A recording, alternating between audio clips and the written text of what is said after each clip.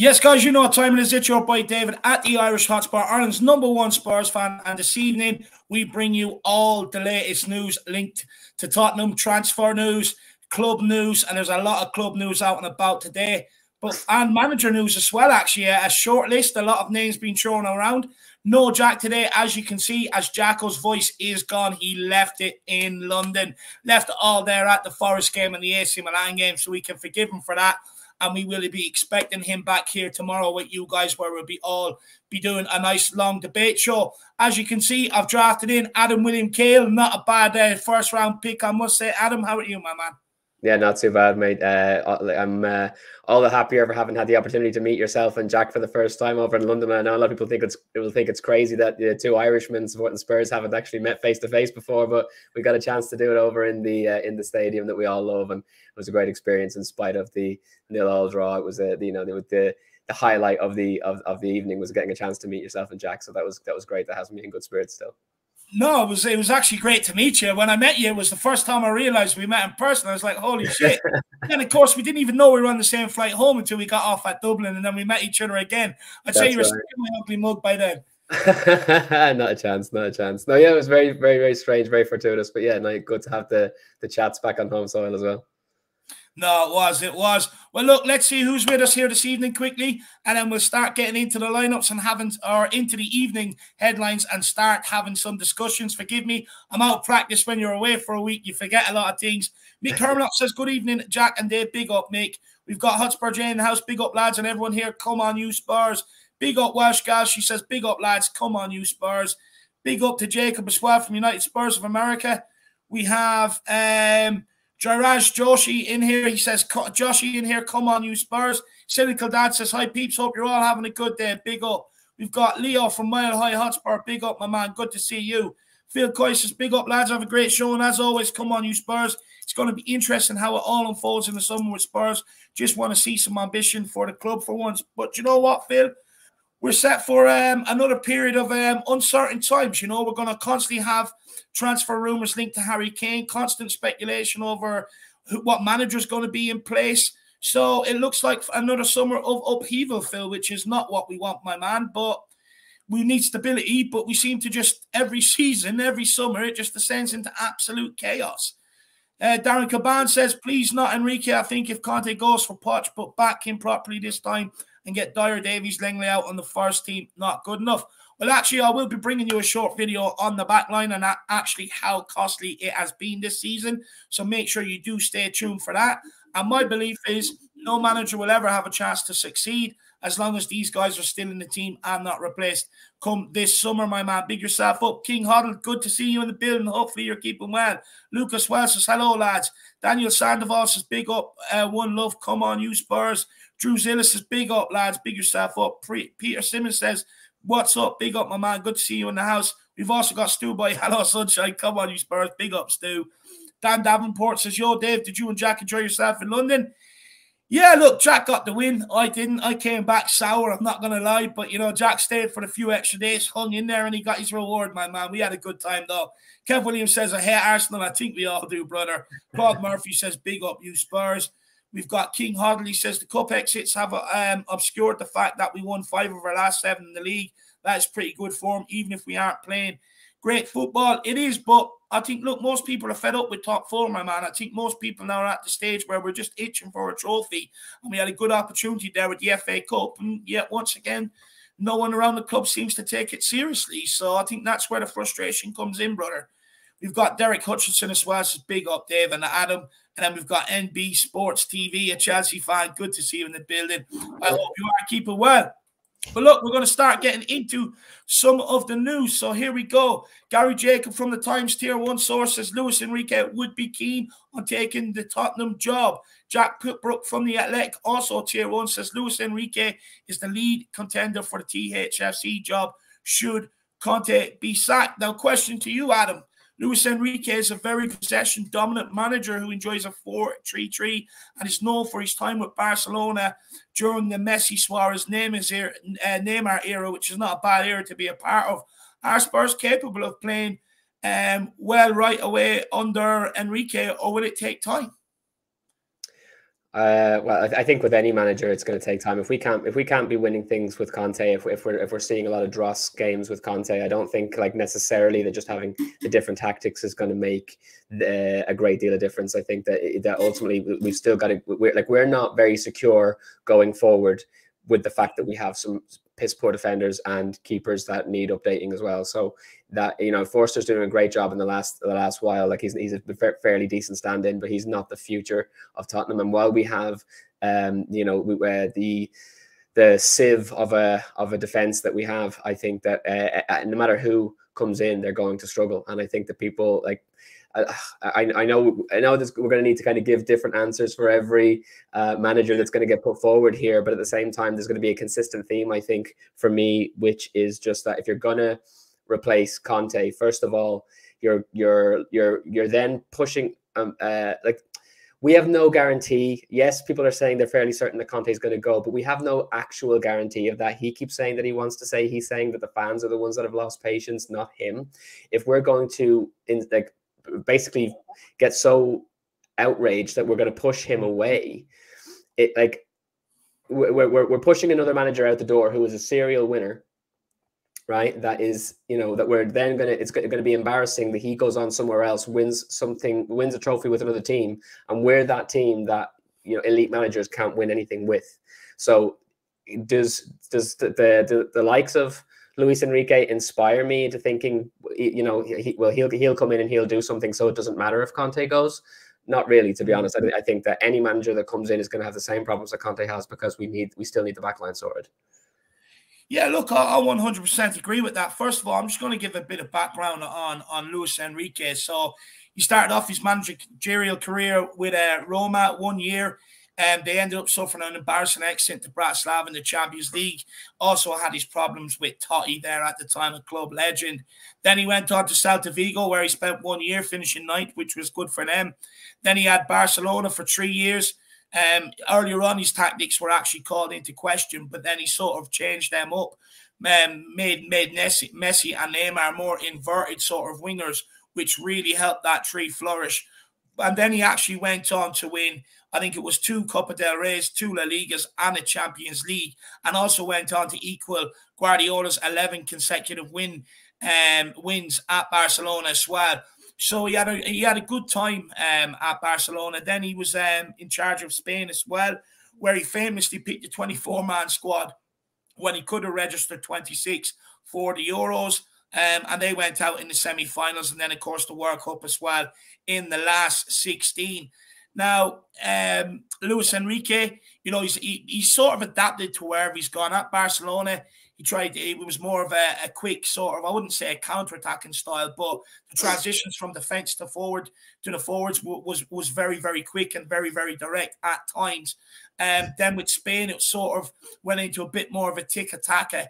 I think he is a manager that would probably adapt more so than an Antonio Conte to what he's got. But I ultimately agree with you, Adam. I actually think that, you know, no matter what manager walks in this door, are going to suffer the same problems, i.e., goalkeeper, i.e., centre backs. And um, that defence, it needs massive overhaul. And plus, I would say that Luis Enrique is probably on a lot more on the front foot, I would say, tries to play on the front foot than someone like an Antonio Conte, which is complete contrast to what we've already got, where Antonio Conte sort of likes to have all 11 men behind the ball. And someone like me, I can understand that is to protect the back line.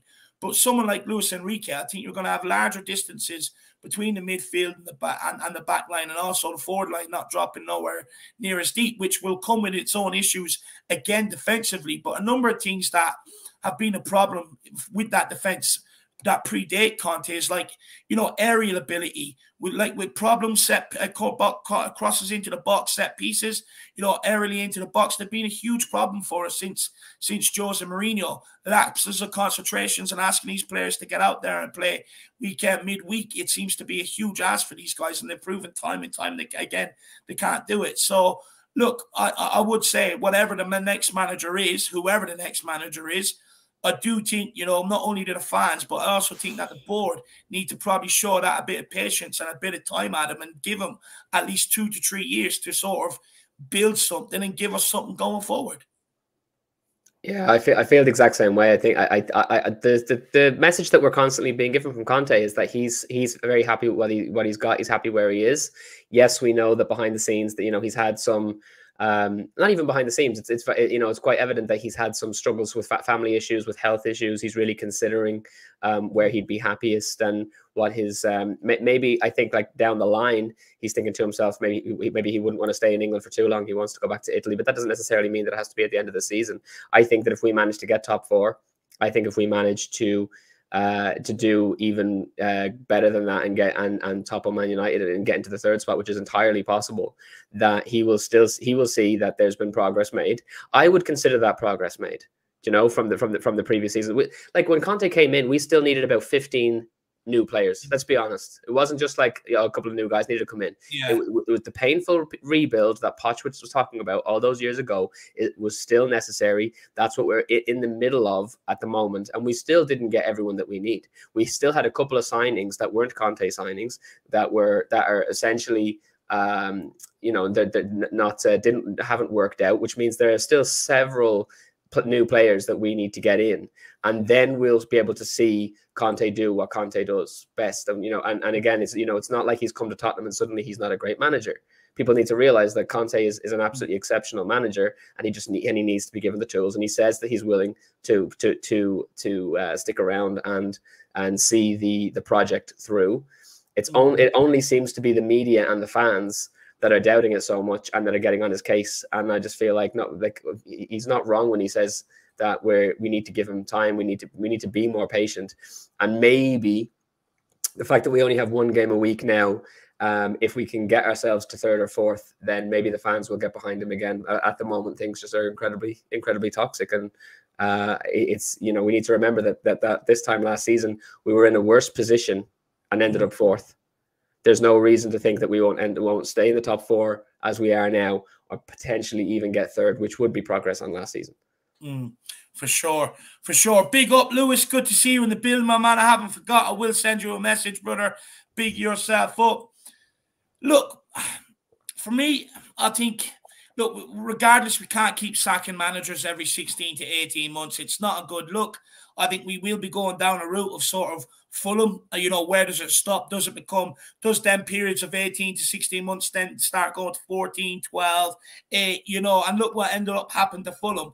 So it's definitely a route we can't keep going down as well because it affects our transfer window. And every manager we change, it means we have more and more to do because they have different styles, different philosophies, and stuff like that. So it just makes it harder. And also, when you look at our team now, when you look at it, it actually resembles four or five different regimes. You got players there for Poch, Jose, some signed under Nuno, and now Conte.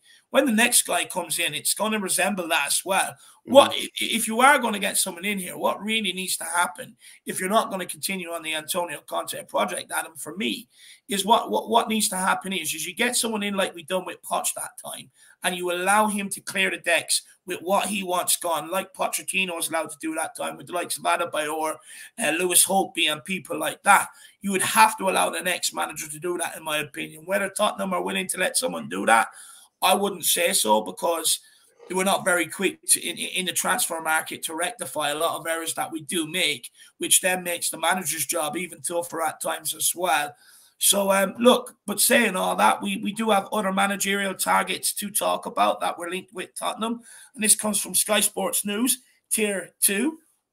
They say Tottenham manager shortlist if Conte is sacked includes Mauricio Pochettino, Roberto De Zerbi, Luis Enrique, Thomas Tuchel, Marco Silva, Thomas Frank, and Ruben Amorim. Um, a, a, long list there. Some very attacking managers there is the likes of Marco Silva, uh, Ruben Amorim, De Zerbi, Pochettino, Luis Enrique. Then you've also got Thomas Tuchel and Thomas Frank in there. Not a bad list whatsoever.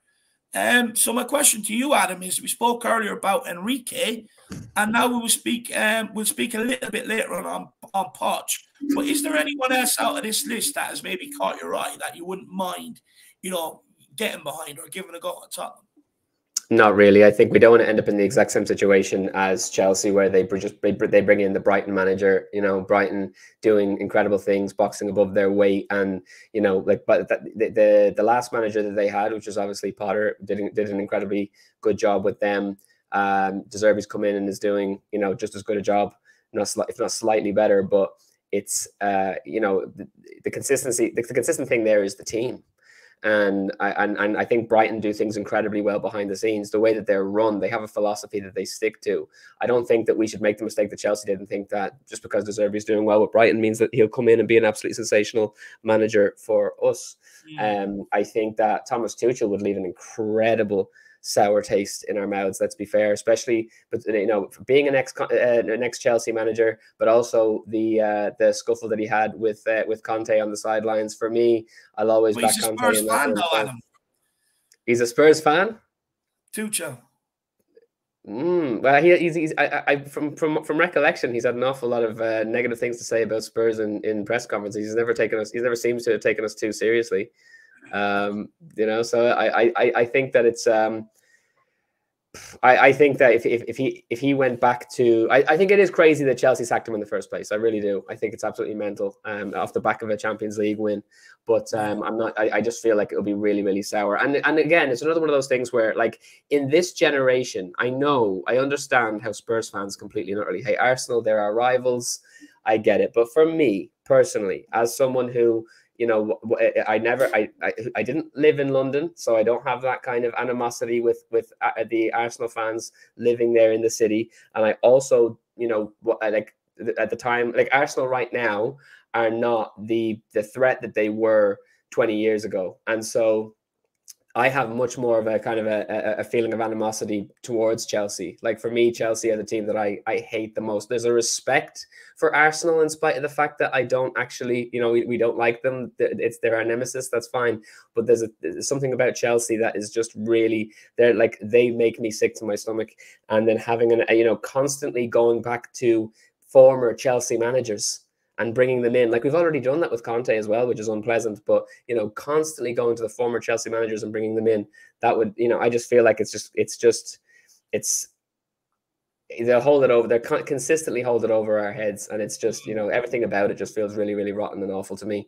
Um, and then when the other manager looking at the way he plays, though, Adam, quickly, you know, he mm. does play with that sort of three centre backs, two wing backs. So it wouldn't be as much of a drastic change in terms of transfer, in terms of recruitment, right? It's sort of he can pick up from where where Conte's left off and sort of build on on on, on what what what we've done so far underneath the Conte regime. I think we could do that better under Pochettino, though. In fairness, we saw how well Pochettino did with us, you know, in, in this previous, uh, um, you know, incarnation. And if he was to come along again, I don't see any reason not to, to, you know, not to believe that he couldn't go on and do the incredible things that he he had every intention of doing once he got backed. And I think also with with a, a Pochettino team, you're talking about incredibly attractive, incredibly incredibly front foot football, and we wouldn't even have to go out and spend crazy amounts of money on centre backs because he would likely play with a back four. He played the four two three one again. So, and with the four two three one, like I, have said this a few times, I would I, at the moment. I genuinely think that we should back Conte, keep Conte there. In Conte, we trust all of that. That's where my hope has been for the last year and a half, right? But if if Pochettino does come back, it's a little bit of a, sort of a, a, a, fantasy return. You know, it'll be there was there, there, would be something heartwarming about it. And if he did come back, we would be playing. All we would have to do is get in one exceptional centre back because we all, already would have Romero on the right. Romero plays in a back four for Argentina, so we know that he's capable of doing it. And then we would have Destiny Udogie out on the left. We would have an option of Emerson or Porro out on the right, depending on whether we wanted to be defensive or attacking. Mm-hmm. Then we have all we've so many good central midfielders. In fairness to us, and then you so that's in in the, in the double pivot, and then imagine having all four of our excellent uh, um, attackers on the pitch at the same time. You have a three of Son, Kane, and Kulusevski, and mm-hmm. then you have Richarlison playing in his Brazilian position where he scores absolutely insane goals. Mm-hmm. Right? Th- look, imagine that team. The only two pieces that are missing then are a keeper and a, and a left-sided centre back, and we don't have to go out and break the bank and get two good centre backs, which we would which we would need playing with the back three. We go out and we get one, we get a Josko Gvardiol, or we get a, a, an Evan Ndicka, and then our back line suddenly looks insane in a back four. And then you replace the keeper with, you know, uh, with, with, with whoever the next generation of keeper is. Suddenly the team is absolute sauce. For me, I, I, disagree slightly on, on on the two centre backs. I think we st- definitely still need two centre backs because for me, you know, no, what, no matter what manager is going to come in here, we know Pochettino used to like to rotate in the in the FA Cup and then the League Cup. Didn't really take them too seriously. It was Champions League and Premier League. His focus was on. And so we know that inevitably you're still going to, if you don't sign two centre backs, you're still looking at a Dier, a Davies, a Sanchez, if not two of them hanging around. Now, for me, I just don't think any of them are good enough what, whatsoever. So I still they don't do need to be first teamers, though, is the thing. If we bring in two two centre backs, it can be one absolute world class centre back like a Josko yeah. Gvardiol, and then you bring in another centre back that's better than Dier and Davies, which is not yeah. difficult to do but it doesn't have to be a starter. Do you know what I mean? It can be some some young hotshot like like Romero, who uh, but you know someone that we can get for for less money that we're not going to break the bank on, and they can be on the bench capable of rotating with either of those two players given the chance. You know, you, you could bring in a, a Joachim Andersen or a, or a, a, a Do you know what I mean? You bring in one of those lads and you have them playing whenever we need them to rotate with one of our main two but you don't have to break the back. If we stick with a back three, we have to go out and get two exceptional centre backs. Yeah. Yeah, uh, look, look uh, I, I agree with that, but you know, for me, I think we should sign two two exceptional centre backs anyway if we have any sort of serious ambition to um, lift some trophies. Look, I don't think there's a lot for Potts to work with. Be interesting to see whether he could work with someone like Gil, have him as Kane's understudy in that sort of cam role. Um, you know, Dane Scarlett coming through, Troy Parrott, who we're going to be talking about. Alfie Devine, Harvey White, Jed Spence. So it'd be interesting to see if they if he could work with any of them because he has worked with a lot of youngsters in his past. I mean, famously, he ended up creating half of England's squad there at one stage. All, all youngsters that he worked with and sort of, you know, helped develop and stuff like that. So but the only my, my only thing is is I'm not the second time they do say in football I'll never go back.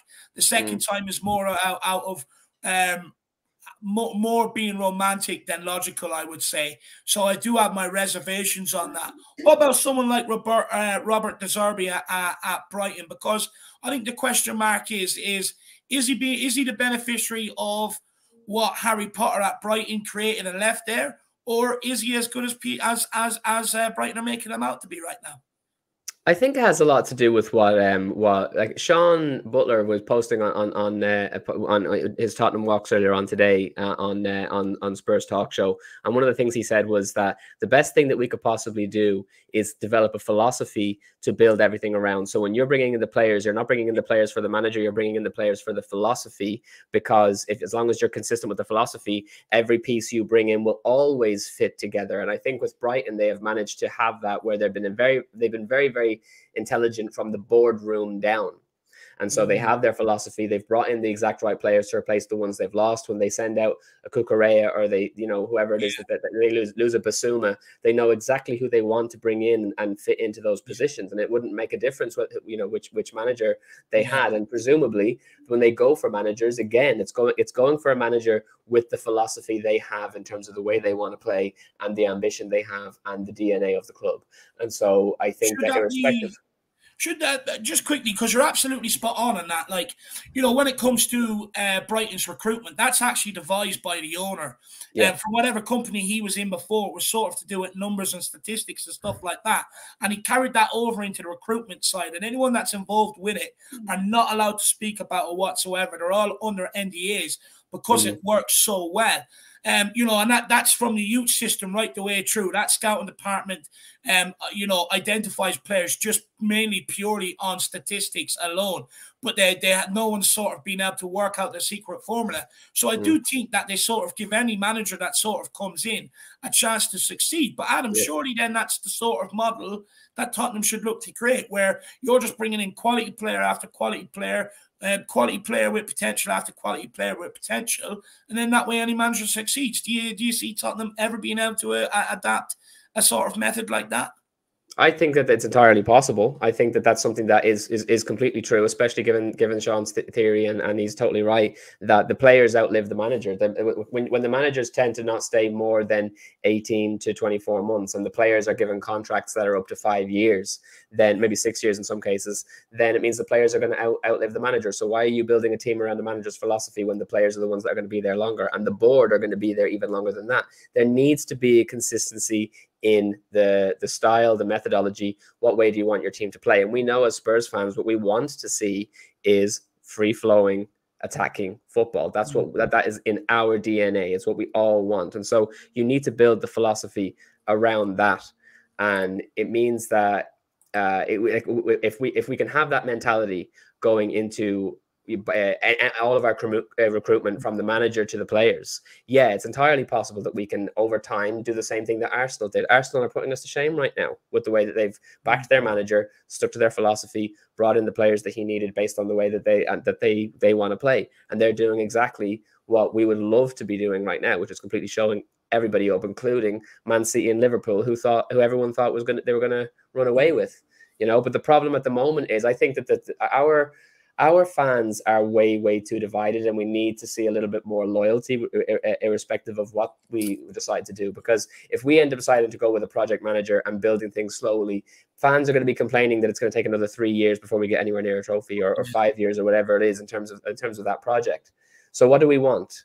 Do we want to to have a project or do we want to go and win silverware immediately? You're not guaranteed the silverware, unfortunately. In, in this day and age, it's just too difficult to to to to play against the big boys. If you want to do if you want to do things um, and build it up, then we need to have that patience that Conte is calling for. And if he's willing to stick around, I don't see any reason not to not to back him through through through the whole thing. Mm-hmm. In terms of bringing, you know, is it is it a bad idea to go backwards in terms of bringing Poch back? Well, look, it worked for Chelsea and and and uh, bringing back uh, Jose, right? I mean it's it, it's not it's not always a negative thing to go back to to especially when if Poch is serious about having unfinished business and he mm-hmm. genuinely wants to see amazing things happen for Spurs. I believe you dream hard enough and you'll and you'll achieve it. And I think that that's what he really wants. I just question how much has really changed since he sort of left us or since he was sacked. You know, there's players there that sort of helped get him the sack. I'm not sure how many of them he's willing to sort of work with. I think he'll want a lot of them cleared out. I'm fearful that they're the ones we want cleared out, right? Yeah, they're the ones I want cleared out as exactly. well. Exactly. Yeah, yeah. Uh, but but whether whether Tottenham will do that this summer remains to be seen. I, am I'm, I'm I'm in fear that someone like Harry Winks might be drafted back in, which I don't want anywhere near the team. Absolutely, the benefits of him being shipped out and away from Tottenham Hotspur altogether. Mm-hmm. Look, I'm I'm torn on Poch. I mean, if he comes back, I'll get behind him. I, I do see some of the benefits of bringing him back but I'm just worried that it's more romantical than logical. What about um, other names that were linked? Um, so look, Roberto De Zerbi, I think me, I would write him off. Mm-hmm. I think he's more one that's been a beneficiary of Brighton's superb scouting department that is derived from the owner.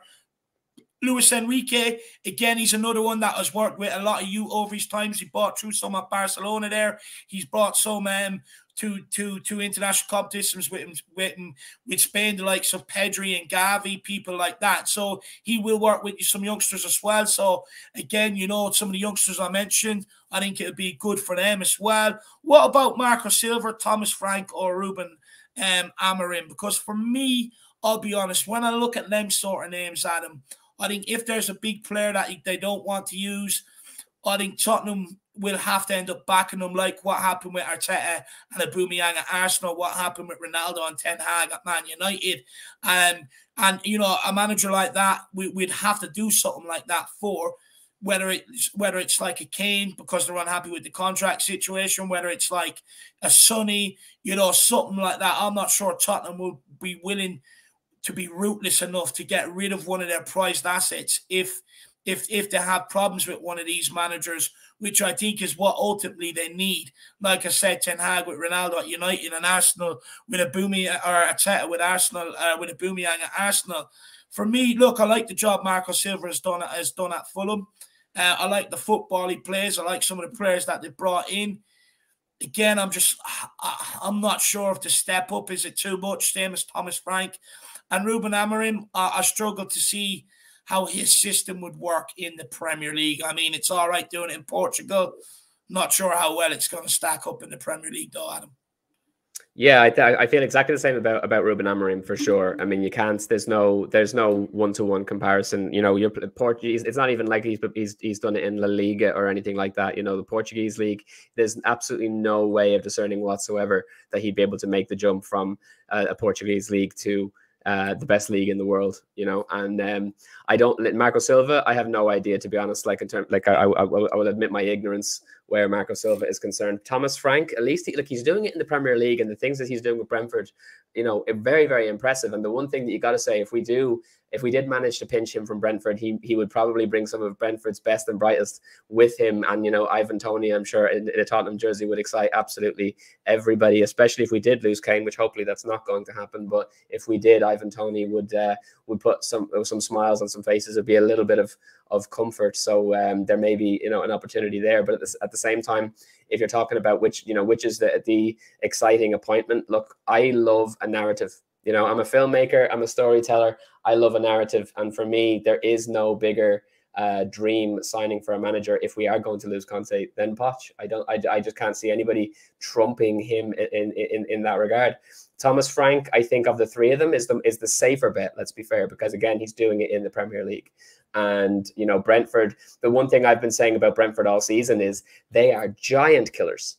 You know, mm. like they are able to do incredible things against all the big teams and to see to see that level of you know absolutely demolish demolishing the big boys it's it's so impressive so there's of, of all of the ones that we've mentioned tom i think thomas frank is the one that you would kind of go there may be something there. You know if he's able to work that kind of magic at spurs where it's you know he's taken a, a brentford team and he's taken down giants like it's david versus goliath every single saturday sunday. If he's able to take a Spurs team, which clearly have more talent, let's be fair, in spite of the dross we have in defense, we have incredible players in the team all the same. And even, and, and I'm really, really excited to see Destiny Udogie coming in after the summer. If he can take a Spurs team and and turn them into an even more prolific David. Like D- D- David with not just a sling, but like a bow and arrow and and full breastplate and armor. I mean, you know, there's there's uh, there's something to be said for that. I think in terms in terms of of of the, mm-hmm. the the managers that we've mentioned there. But again, I love a narrative, and I think for me, it'll it would still be Pochettino all the way. For me, when I look at someone like Marco Silva, Thomas Frank, Rubo, Ruben Amorim, Roberto De Zerbi, I think their managers, I don't think they'll have too much influence, too much say at, at, a club like Tottenham Hotspur, as big as Tottenham Hotspur is in terms of recruitment and stuff like that. I think they'll more or less be given players and told to work with them. Whereas someone like Thomas Tuchel, Luis Enrique, and Pochettino, even though I knew no, it was different first time around, he's not as naive or he's not on the rise as he once was. He's sort of an established manager. I believe they'd have a lot more say in sort of the transfer window and stuff like that. But look, that's a debate we have um, our question we have in tomorrow's debate show. It's sort of like, do you want Spurs to keep going down the route of bringing in sort of like, um, what's the right word, legacy managers like a Jose, like a Conte, people like that? Or do you want to rip up the script and start again, start from scratch, willing to sit there three, four, five years of mediocrity and sort of see if something comes together, which is a big gamble? Um, so, you know, keep that in mind for tomorrow's uh, debate, people, and let us know your answers for me, I would much rather us keep sort of dining at the top table of managers because I believe, you know, I, I, my personal belief is I don't think we're too far away. I think you bring in a new number one, you know, he's more up to speed with the modern game. You know, is is more more sort of younger, fresher, more spring in his step than maybe someone like Hugo Lloris who can distribute with his feet and also bring in, you know, I think we need to get another left wing back in this summer. I think two centre backs and maybe a cam. I think an elite level manager, a legacy manager, are the ones that would definitely ultimately end up bringing success to Tottenham rather than someone like a Marco Silva, a Thomas Frank, a Ruben Amorim. Because when I look at them appointments, I look and I go, okay, yeah, we'll, we'll, we'll be looking for another manager in two years. When I look at someone like Thomas Tuchel, Pochettino, although it hasn't been the case the last few years, I look at it and say, yeah, you could see a five-year plan here or something like that. But again, it it it all sort of comes back to backing. You know, every manager is going to need backing at Tottenham, no matter who walks in the door.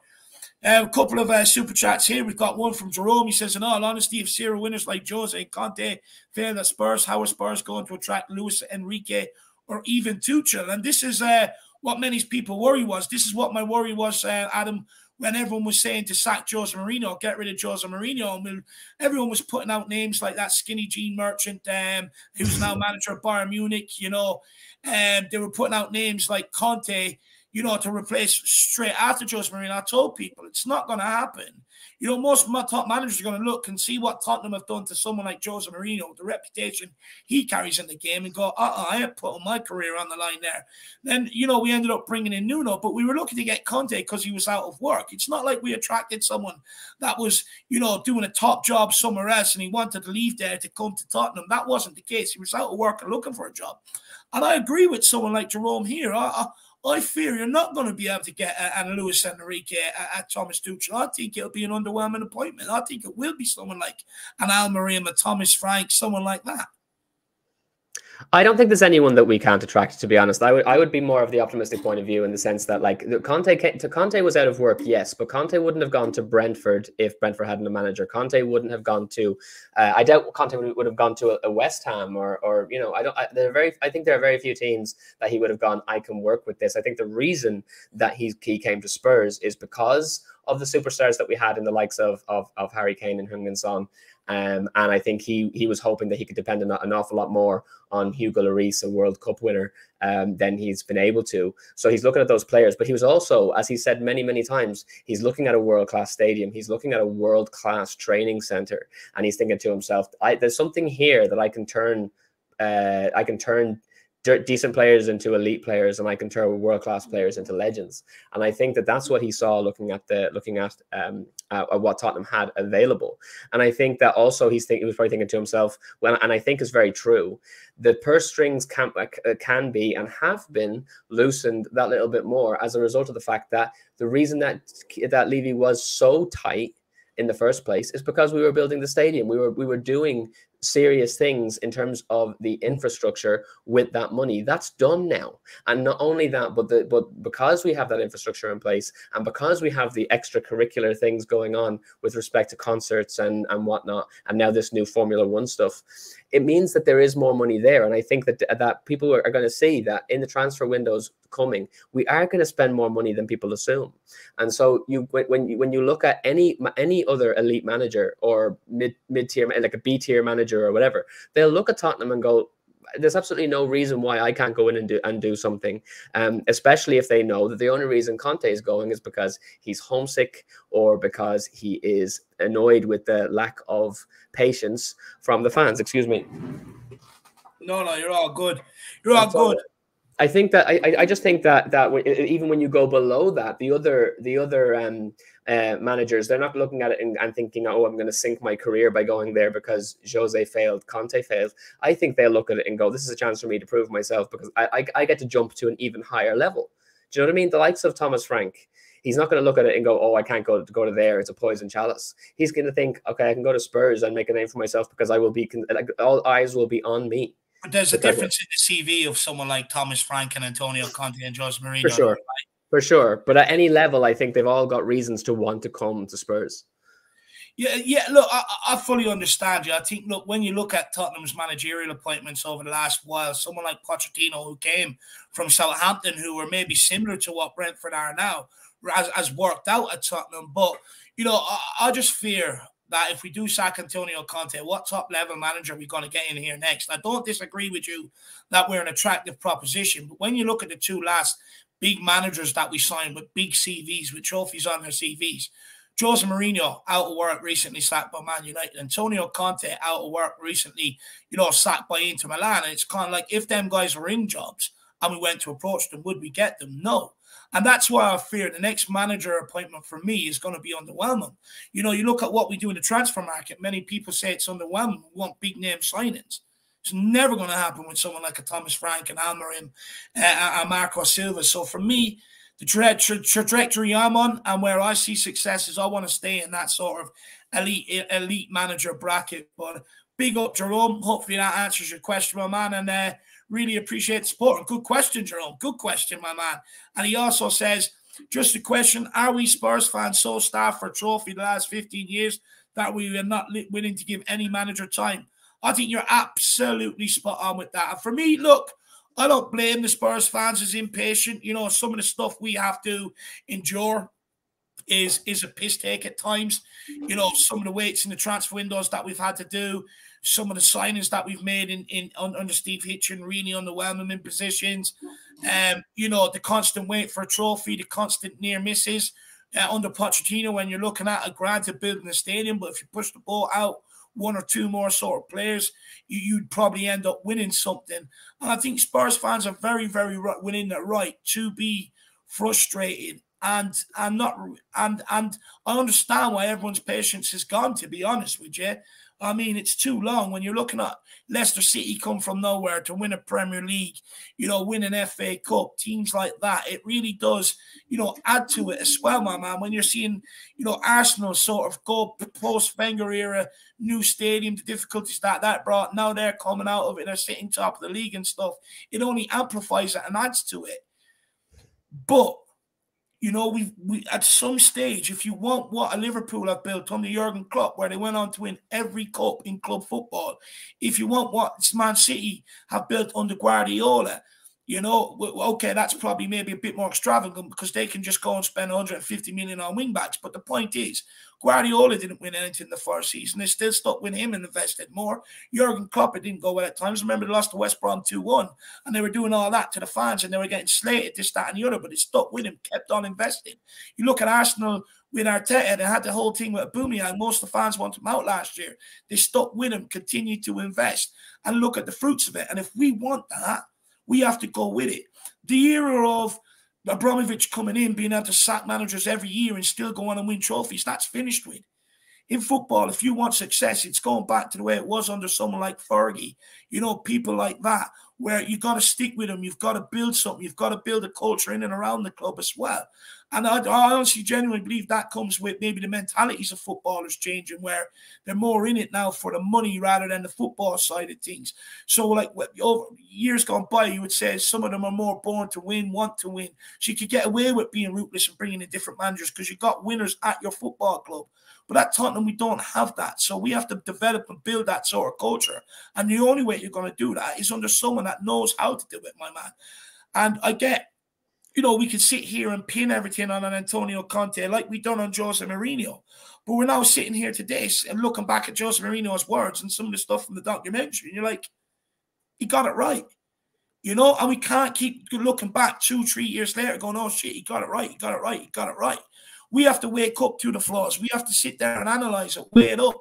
You know, if we did improve the back line and goalkeeper under Antonio Conte, can we go and win something? You look at his last couple of seasons, two fourth place so far this year, still in top four. Last season dragged us to top four out of nowhere. You know, despite the defense being a major issue in both in both seasons. You know, so for me, I think if you continue to invest in that, I do think you will see the the rewards in it. I'm just not sure the board have the patience. I'm not sure the fans have the patience for it anymore. And that's that's what my concern is. But my other concern is as well. I don't want to end up someone like Watford where they bring in a manager, it's not work out, sack him, get a new manager for a manager bounce, and look to justify it. Because let's be honest, with Harry, without Harry Kane this season, we would exactly be fighting relegation with the way we've been playing. Um, take his goals out of the team with the lack of goals elsewhere, you know, with, with how much we can see. That's exactly where we would be. You know, and Harry Kane's not getting any younger either. You know, he's he's coming up to 30. He's got 15, 16 months left on his contract. So it went if, if if even if Harry Kane does see out that contract, that 16 months, when he goes, is that what our future looks like? Well, in order to prevent that, with Son, Hugo, Kane, people have been around years, all sort of coming to the end. Now's the time to bring in a guy or continue to back a guy and let him develop a culture so that when these guys go, it's not a huge loss. You already have a development plan in place. What you can't do is hire and fire managers, waste these guys' career, and then when they go, you're absolutely stuck there. That cannot be allowed to happen. Anything you want to say on that, Adam? Very passionately, by the way. I apologize.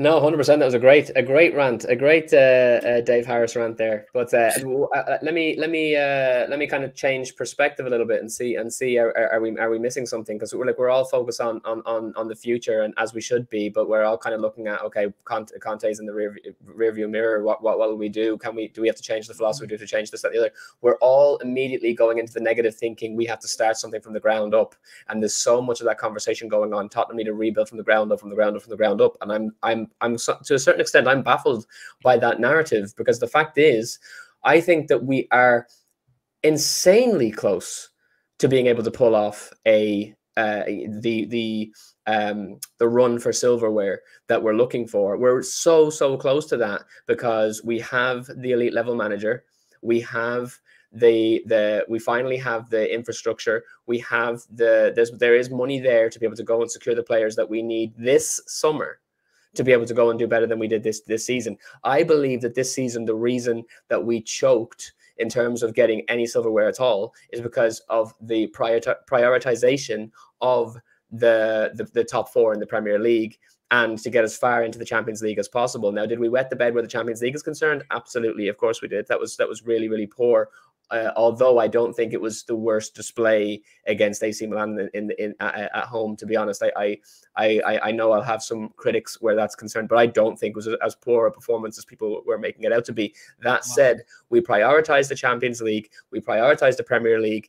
Uh, Conte made that very clear in one of his interviews as well and therefore we let the FA Cup and the Carabao Cup slip through our fingers. But I, we have we had the team that could have gone further. Next season, we'll have a team that can absolutely take care of anything. And I truly, truly believe that we are this close. This is not the time to, to go, okay, let's let's get rid of Conte. If he walks, he walks.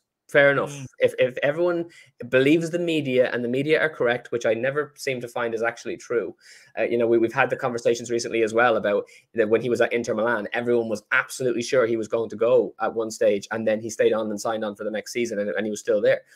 Conte's given us no actual verbal indication that he wants to leave Spurs. He's only ever told us that the fans are are are are, um, are have lost their patience.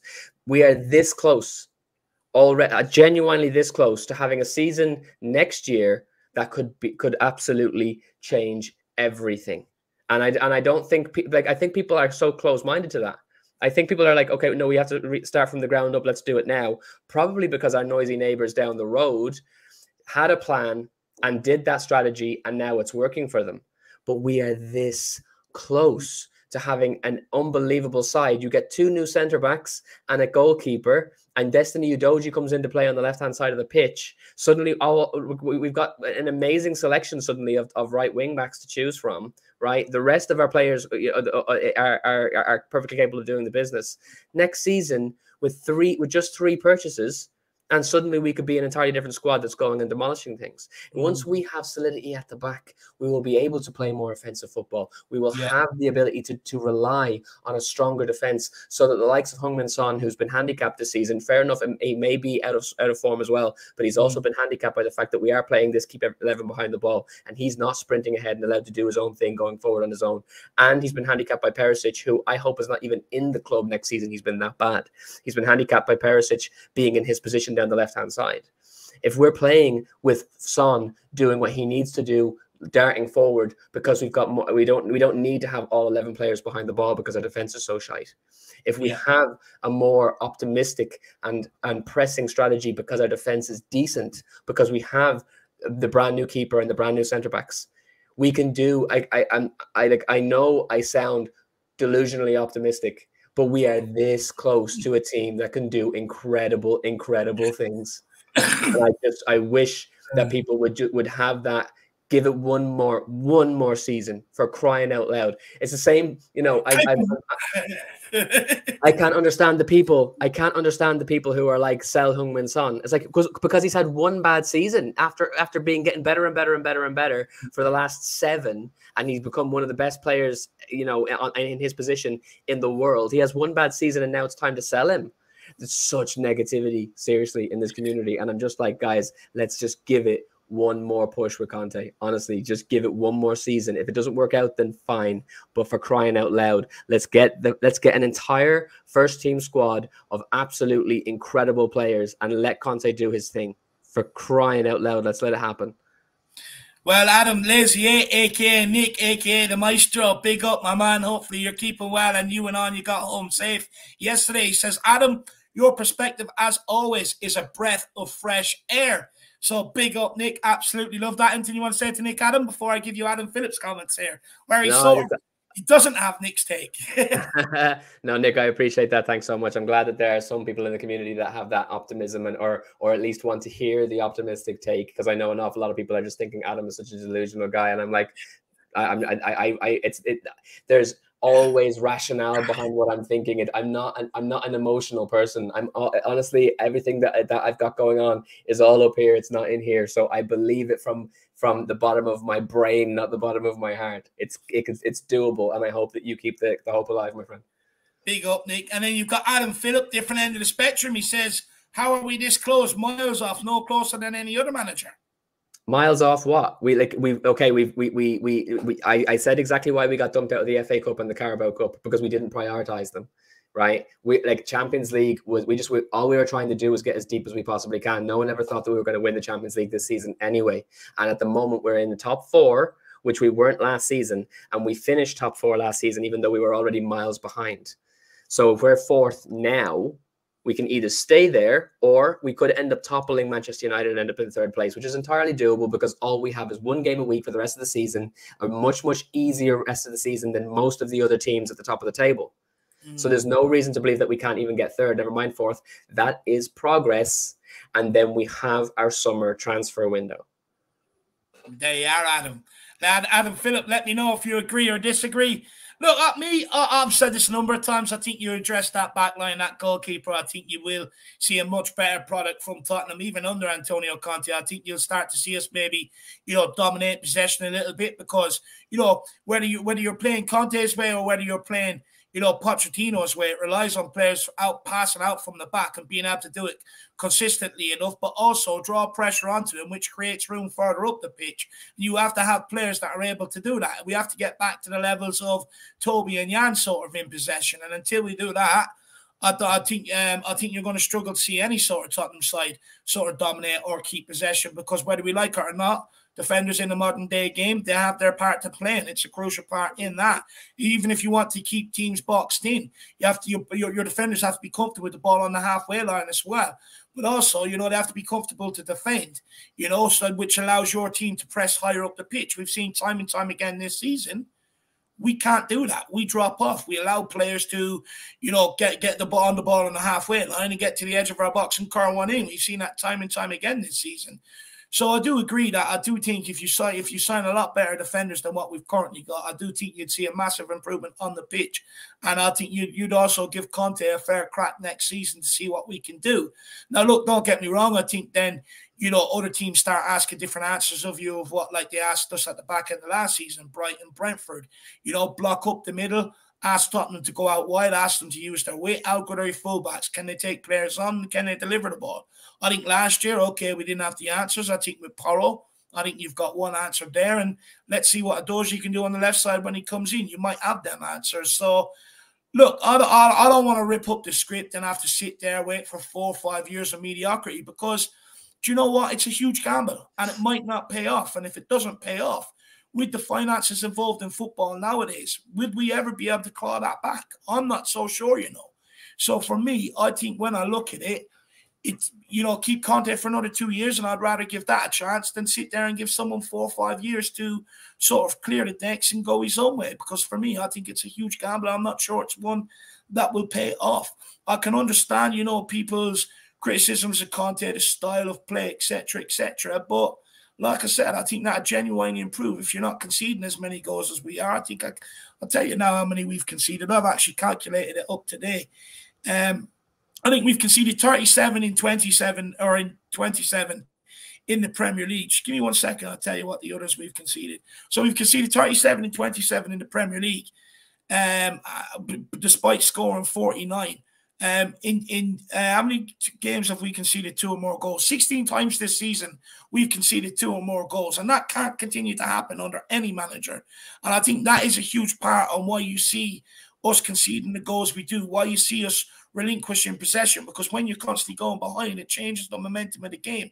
Or your your opponents sniff danger, sniff sniff a kill, so they go harder at it, you know, full throttle. And our players can't stand up to that mentality wise. So I would agree with you, Adam. I don't think we're too far off. But you know, it remains to be seen whether the board will stump up the right amount of money to get in defenders because look, I've no doubt the reason why they've refused to do it so far is because when you're looking at top centre half nowadays, you're probably talking 80 to 100 million. You know, if you want the elite centre half, which is for me, I think is what you should be aiming to get. And you know, we need two or three of them. So if you're Daniel Levy, it's cheaper and easier to go and employ the best defensive managers in world football. You know, and we've had three of them, and they still won't equate to what one top centre half is, rather than actually go and spend that money on what we need to be able to take us to success. Uh, James uh, Coffey says if Conte can't manage more than one game a week, then why bother when qualifying uh, with qualifying for the Champions League? What would you say to this, Adam? Because there is that stat that goes around where you know points and and and results and everything and performances sort of drop off when you know Conte's team are asked to play two games a week.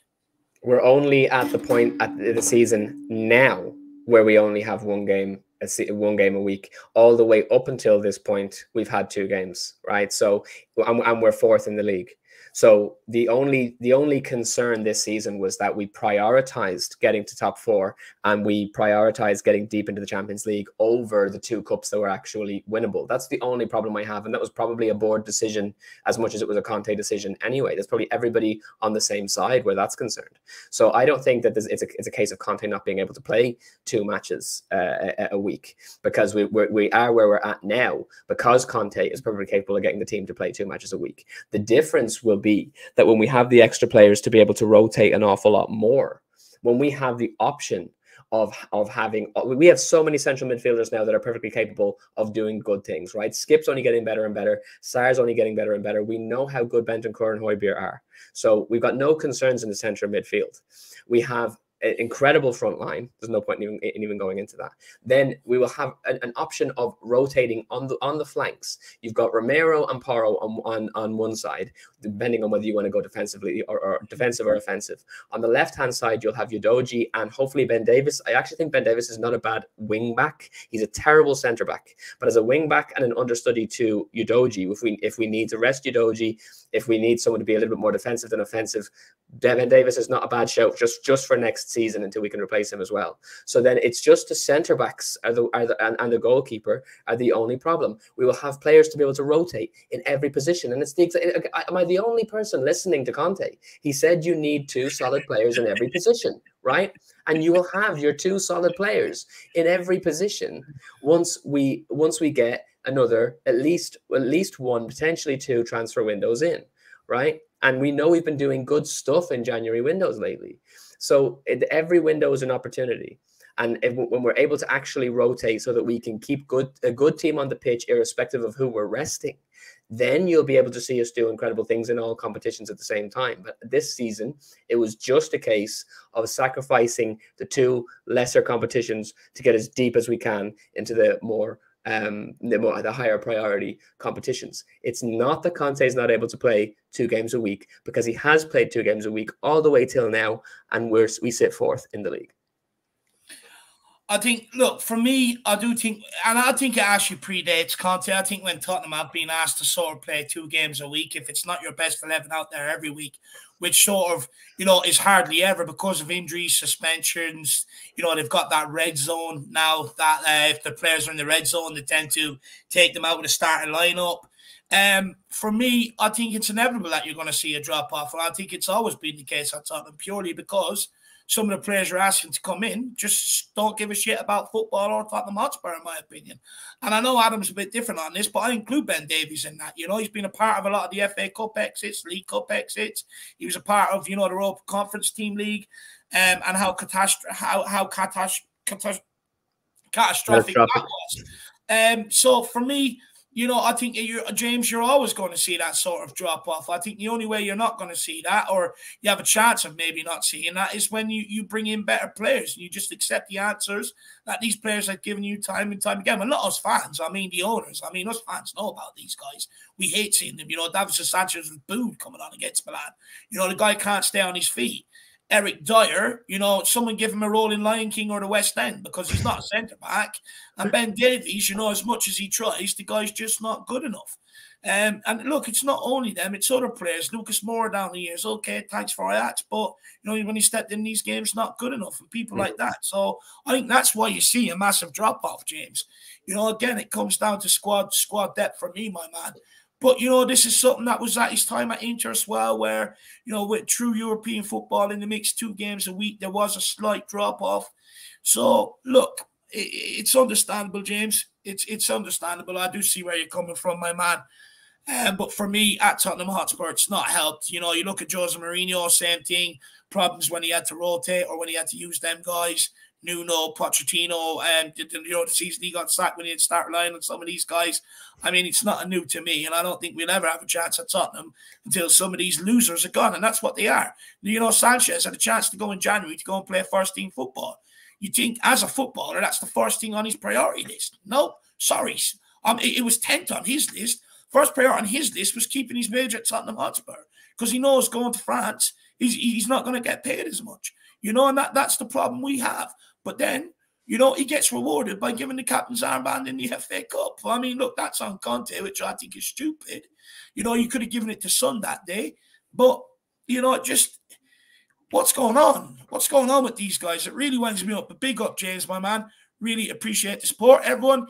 Uh, if you could keep smashing that like button, keep smashing that subscribe button, and also feel free to keep getting your comments in the chat and engage with us. Why not make it a super chat? Really helps everything we're trying to do here. Um, you know, we do watch alongs, pre match build ups, fan shows after games, fan shows, um, you know, after the weekend and before games. We do debate shows and everything else like that. So it just helps keep us going. So big up, James. Really appreciate that, my man. So let's see where we're at next. So we've talked really about sort of a lot of the managers. So where are we at? About sacking Conte. Um, Sami Mokbel Daily Mail, aka Sky Sports as well, I believe. Tier one, the bill for Saki Conte would not exceed five million. That's because he's only got a few months left on his contract. But look, I, I think I've more or less covered it. I don't think, you know, Saki Conte is the right answer unless it's for, you know, someone that is known for success and playing uh, on, on a, a more of a front foot way. But uh, so for me, I think I know where I'm at with Antonio Conte. Adam, I'm pretty sure I know where you're at. But anything you want to say on this quickly?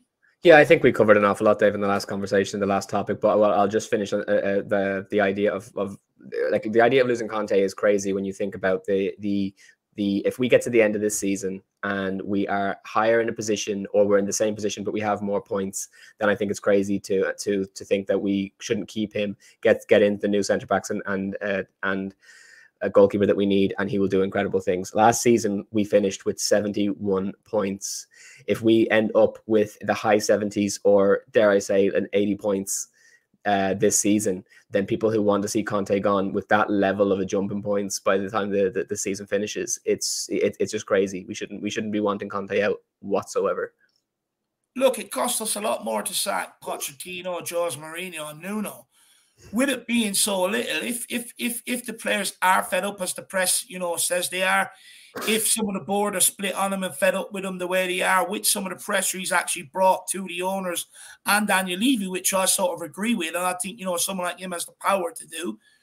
Why haven't they sacked him already if he's causing them such problems, Adam? Considering it's the less, the lowest fee they've had to pay any manager in years now the answer for me is don't trust the media. I don't listen to a single word of it. I think it's insane. It's it, it really. I do you know what? Like I'm I'm one of the things that I will say is there's an like I, I do have a very uh a kind of I have alarm bells for for for uh, anything that I see as being conspiratorial. I really think that the media just want to see Tottenham burn. I think the media yeah. love yeah. talking about about how Tottenham are Spursy. They love that narrative and I think that they want to see Tottenham burn. And I think that they they create these stories. They they talk about this and that in order to get Tottenham fan, fans angry, and then the Tottenham fans end up putting the board in a position to make decisions that the board wouldn't make otherwise. And I think that that the board don't want to sack Conte, and I don't think Conte has any. He, Conte hasn't signed a contract because he wants to see where we finish, and he wants to see uh, what the the the the board are willing to do in terms of backing him during the summer. And he's perfectly entitled to do that. He's in a very strong position to be able to go, you know what, I'm not going to sign until I'm sure that I'm going to continue to get backed. And he's that's his that's his prerogative. But nothing about what he's saying in the, from his own mouth indicates that he wants to leave Tottenham. And he's saying that the fans are the ones that are, are, are losing patience. The fans are losing patience because they're listening to the media.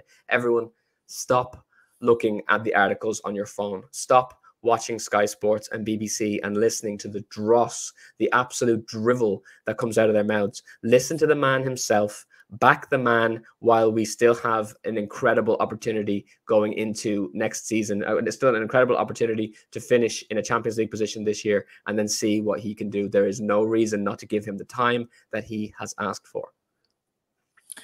Interesting, interesting. Look, I definitely believe, you know, that every I've said this time and time again. I think all the other Premier League clubs, the media, I think everybody over there is absolutely anti Tottenham for sure. And it's like they always want to belittle them and beat them where they can.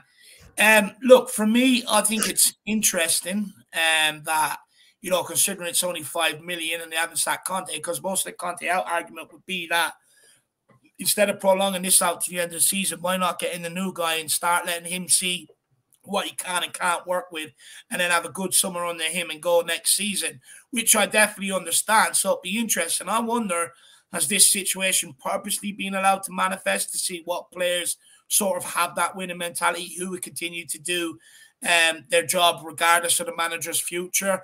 Be very, very interesting to see what happens there. But look, for me, I'll, I'll be honest, I do think he probably won't sign. And I think you'll see him managing the club in Italy next season. Although for me, I would like to keep him. And then we've got David Ornstein from The Athletic. He says, um, those close to the situation say a THFC return from Mauricio Pochettino is unlikely and will be an uphill task if he were to be appointed. Now, just quickly on this, I think we did go into good depth on Mauricio Pochettino already. And for me, I've said this already. I think if we do bring back Pochettino, I think I think Daniel Levy's job should be uh, scrutinised, and I think he should be sacked. To be honest with you, because it means everything we've done over the last three to four years with Jose Mourinho, Conte, and Nuno, they've been massive, expensive mistakes in the transfer market, with also hiring and firing them, and the wages they accumulated with being here.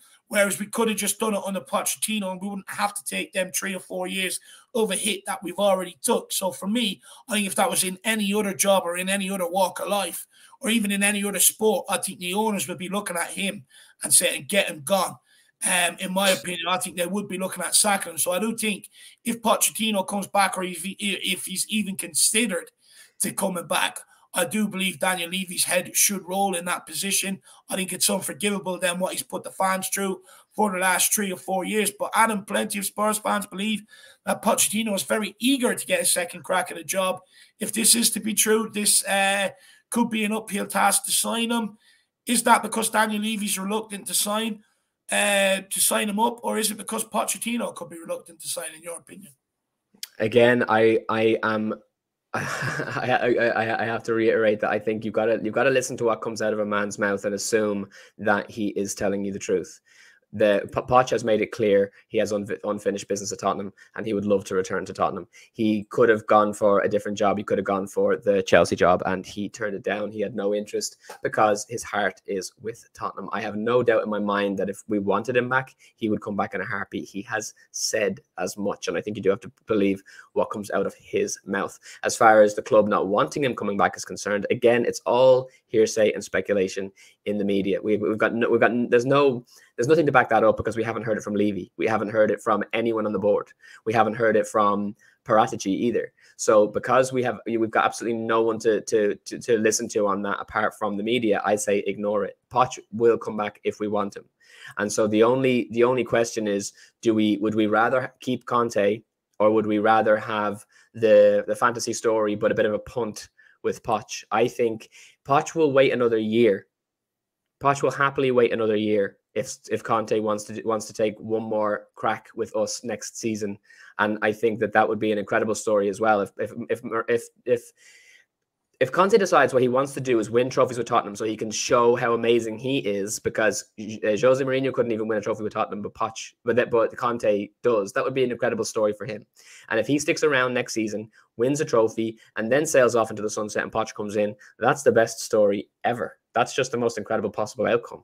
And so mm-hmm. I, I, I say uh, ignore the people saying that Poch doesn't want to come because he definitely definitely would, and I don't see any reason that the like there's no reason to believe that the board are not interested. So we'll just we'll see what happens when it happens because we've got absolutely we're not in the boardroom and we can't we can't you know we don't know what their minds are are up to. Um, but I think Poch is certainly from most people's perspective is the you know is the dream signing, and I think that that uh, Levy is most likely if he if he brings Poch back. I'm not on the train of of beat him over the head with his mistake. I think if he decides to bring him back and meet him high, hmm? it's an admittance of guilt. It's you yeah. know how much money wasted in transfer fees, how much money wasted in manager fees, etc. Yeah. It's an expensive mistake to make. I agree. Tottenham, where you have to sort of make best use of your money every single season. Yeah, I agree, but I also like as a consistent Christian man myself. I think you know if he if he, if he admits if he admits his faults, forgiveness is offered. Forgiveness is given completely and utterly freely. If he thinks that he did something wrong and he brings back the king, then let him bring back the king, and all is forgiven uh, interesting. People, let me know where you're at. If if Poch is signed up, you know, um, should should Levy's head roll for for for what's allowed to sort of manifest over the last three four years, or are you with Adam? You know, but if he brings back the king, as he calls him, Pochettino, do you give Levy a reprieve? Let me know in the comments, please. Um, interesting discussion there. Um, who else have we got? What else have we got here? Adam, uh, Harry Kane's future. Alasdair Gold, tier one. He says, Harry Kane's future is not linked with that of Antonio Conte. Now, Adam, plenty of us believe that his future was linked with Conte because um, Harry Kane will stay if he sees Spurs are heading in the right direction. Someone like me, you know, is it possible that Kane is willing to give another top quality manager a try, like uh, some of the ones on the shortlist? Because you know, you see everything out there in the media and the pressure put on by pundits. You know, Harry Kane needs to leave Tottenham to, to go and win trophies for him to be taken seriously, for his legacy to sort of be taken seriously. Where are you at with the whole situation? But also, you see a lot of stuff coming out today that Tottenham want Harry Kane to be the face of the new project. And, um, you know, he, they, they want to give him a say in sort of, or he's having his say with the board in terms of managerial appointments, you know, what sort of tactics to go with going in the future, players coming in the door, players out, etc., etc. And should a player, although how good Harry Kane is, should a player be allowed that sort of influence at a football club? In, in, in, in kind of sort of contrast to what I was saying before about the media, I think Alasdair Gold is one of the people that I feel like I, if I'm going to trust somebody, I would trust him an awful lot more than most. Doesn't mean that I would put all the eggs in one basket. Doesn't mean that I don't take uh, what he says with a little pinch of salt because he, at the end of the day, he's still journalism. And, you know, I think journalism today is absolutely disgraceful.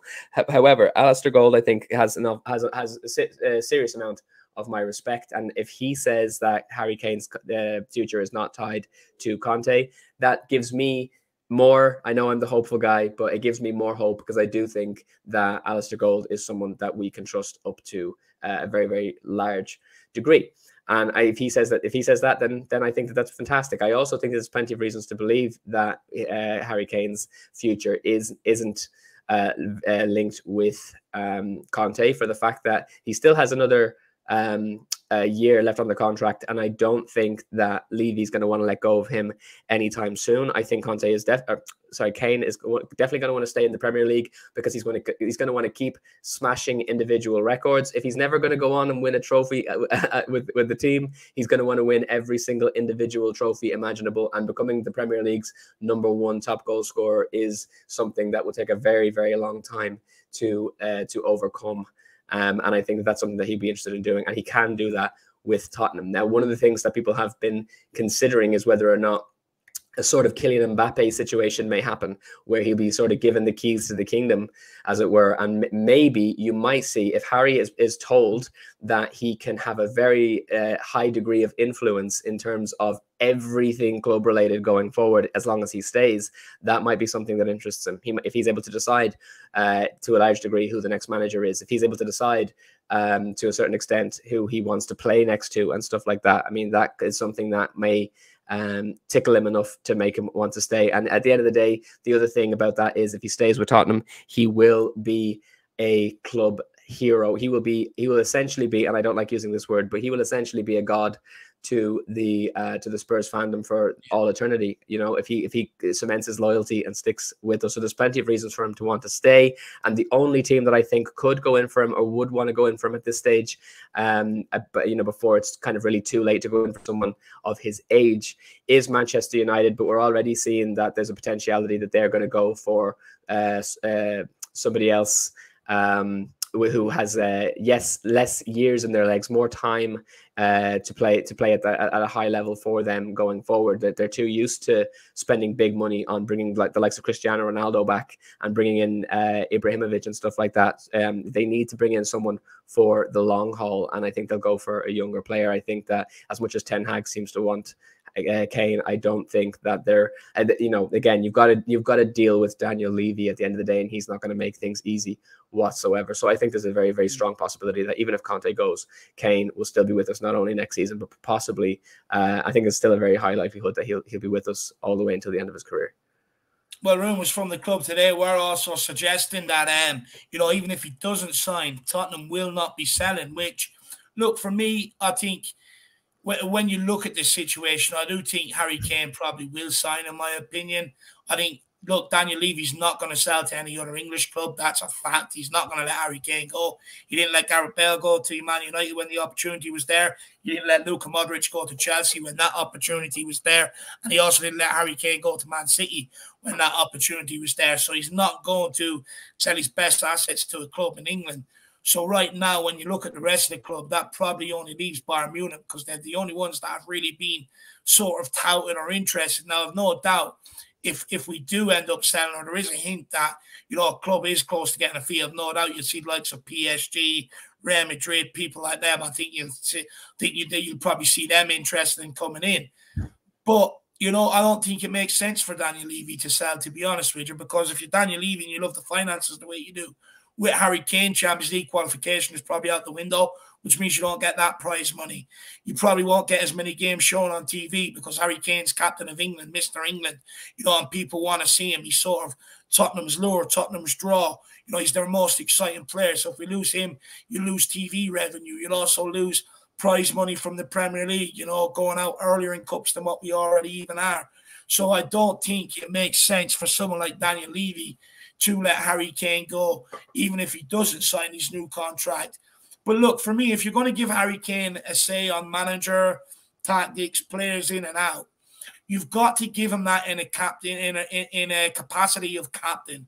Because if not, it's only going to cause problems. It's going to cause frictions. It's also going to cause friction with if there's another club captain, that guy, because he'll feel like Harry Kane has more say, more power, which will then lead to splits in the camp, etc., etc. And we can't afford that. Um, so for me, I think you you, you in, in, when you're him a new contract, I'd like to see him maybe given the uh, captain's armband as well. I think if he's going to sign a new contract, then basically you know sign it up until he's 34, 35, and his best days are behind him. I think you've got to give him that chance of, of leading Tottenham. I think it'd be a crime to sort of let him see out his career without ever really making him club captain, letting him have a say, influence, you know, setting down the marker for new signers coming in, you know, setting down the, the, the, the standards on what it takes to be a Tottenham Hotspur player. I ultimately think you would have to let Harry Kane be that guy. And yeah, it's going to take them massive money to be able to convince the guy to sign. You'd probably have to break their wage structure, which they don't like doing at Tottenham. But when you've got a world class like uh, a talent like Harry Kane, sort of there, there, there are exceptions to the rules. And for me, Harry Kane is one of them. I think they should do everything in their power to be able to convince Harry Kane. If that means Harry Kane's up there saying, get rid of this guy or that guy, well, you've got to understand it comes from a place that the guy wanted to win trophies. He said it. His, his ultimate dream was to be lift silverware at Tottenham. So whatever where his decisions are coming from, they're not coming from a personal or a selfish sort of position. They're coming from a position that will aid him to win trophies, which he knows will aid his legacy and his reputation. So for me, I don't think it would be a bad idea for the club to make him captain and maybe listen to him a little. Yeah, absolutely. And I also think that it's beneficial to I'm seeing someone in the comments saying that Kane will rapidly fade away in a year or two like Shearer. I don't think that's true at all. I think Kane is a, is a more complete player. Shearer was an out and out goal scorer. Kane is an incredible striker, but when he start if he's uh, you know starts losing a bit of pace, um he there's no reason why he can't drift back into a number 8 role and be spreading the ball about like Kevin De Bruyne. And I've been saying this for ages. He's not a number 9, he's a number 10 at the moment. So he he should be in that more uh, that deeper role where he's able to play the ball off to other players to get more goals as well as banging them in himself. Um, I think that he's got he's, Kane. Uh, you know, he's he made a point of saying that he will try and play until he's forty years old, and I don't see any reason why he can't because he's that good of a of a of a ball player. And I know, look, you, you know, Gary Neville's probably, you know, ringing Harry Kane as we speak to try and get a new uh, trip on the golf course with him and this, that, and the other. But, you know, you, you see some people that say, look, it makes it makes sense for Harry Kane to leave. Yeah, yeah, probably would. Like when you're looking at Tottenham, are we realistically going to win a trophy before Harry Kane retires? You would say, looking at our history, probably not. Um, but you know, going to Man United, which I think is the only club, Man City aren't going to come in for Harry Kane. After signing Haaland. Never ever going to sell to Chelsea, regardless. So that's not going to happen. Or Arsenal. So his only real move inside inside England is Newcastle or Man United. Now, look, I know Man United won the Carabao Cup, but you've got to take into consideration the run they had to get there. It's not going to be as easy next season or in seasons to come. Are they going to win a Premier League in seasons to come? Champions League? I'm not convinced by it. I'm not so sure. So, you know, uh, but when you go to a club like United, you're, you're no longer the biggest deal. You're no longer the big wig. You don't have that familiar surroundings every day where you're walking in. You got the same people asking you, How are you? How are your family? All that sort of stuff starts to change. And if you're not made feel like the main man, how does that sort of affect your game? This, that, and the other. So the grass isn't always necessarily greener on the other side. And when you look at Tottenham and United over the last few years, we've sort of been on an even keel with them. I think the only team that sort of separates is is, is, is the Carabao Cup, but that's because you know they took it more seriously than us. So I'm not sure the grass is greener moving to someone like Man United either. And then mm-hmm. uh, Johnny, get good to see you in the building, sir. He says, "Hello, David. Even Harry must know a different manager, no matter how good." And he meant to say, "Is not the issue with the team. I can work a miracle with the likes of like the, the, the liabilities like that. Look, I think Harry Kane knows that. I think, look, if you're Kane, Son, Kulu, or Charlton, you look back with dread every single day. You're looking at them, you're like, the reason why we have to sit behind the ball for 20, 30 minutes at a time is because you guys are useless. You know, the reason why we have it's our job is harder to score and break teams down because we have to do it from deeper and deeper is because you guys are useless. The reason why we've to try and unlock the door four or five, you know, times every single game is because you guys are useless. I have no doubt. I've been in a team like that. You look back at them defenders and you want to kill them. You actually want to kill them. You know, the effort, the sacrifice, the work you're putting in, and you see these guys, you know, scared to do their job. You know, it, it, it, irks you, it pisses you off, and ultimately you just want to grab hold of them in the dressing room and clang their heads together and say, "Wake up!" And after a while, when the same things keep happening, you look back, you know, it does cause arguments. It does cause sort of you not to speak to them and stuff like that. And I have no doubt that's probably going on in the dressing room right now. I have no doubt about it. If you want me to be brutally honest, sure, Ben Davies coming out after the West Ham game. Well, we all sat down there holding hands, telling each other home truths. I mean, that already suggests that there's already a big split, in, in my opinion, in the camp. And I don't think it's between players playing and not playing.